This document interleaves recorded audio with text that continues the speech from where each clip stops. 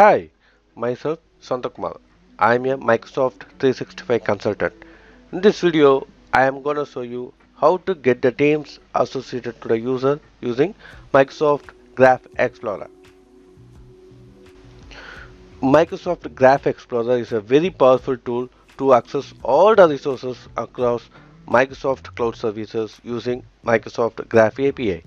Let's open Microsoft Graph Explorer using the shortcut URL aka.ms slash ge. Here we are in Graph Explorer. Graph Explorer also provides some sample queries to retrieve the team resources. To enable that on the left navigation, we have to use the show more samples link. Just click on it. This will open the list of sample queries available for each Microsoft Cloud Services. From here, select the Microsoft Teams associated to the standard version and beta version. So once this is enabled, we can see those sample queries in the left navigation. Click on the Get My Join Teams. Here, the text box which gets automatically updated once you click on that sample query. Here, this slash me slash joined teams which gives you the teams associated for the current user.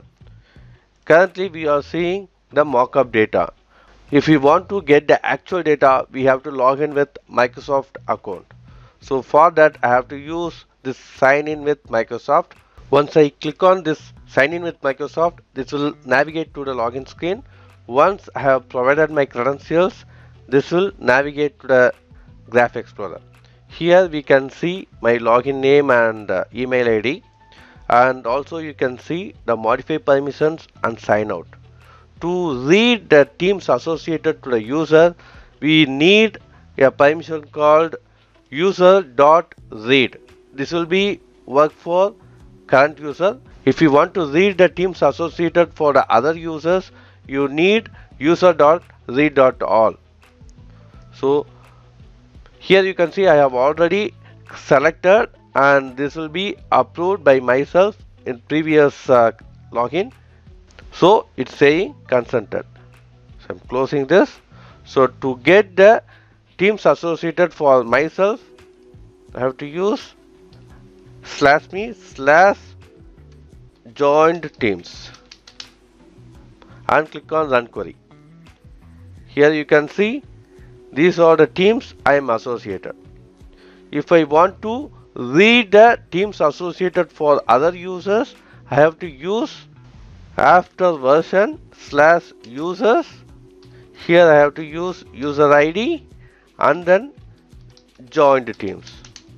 To get the user ID first get all the users associated to the office 365 account here I am getting all the users associated to my office 365 account so I am selecting one user ID here after the users entering user ID slash joined teams. Let's click on run query. Here I am seeing the list of teams associated for this user. That's all from this video. Just stay tuned. I'll show more videos related to Microsoft Graph Explorer and Microsoft Teams in upcoming videos. Thank you. Thank you for watching this video.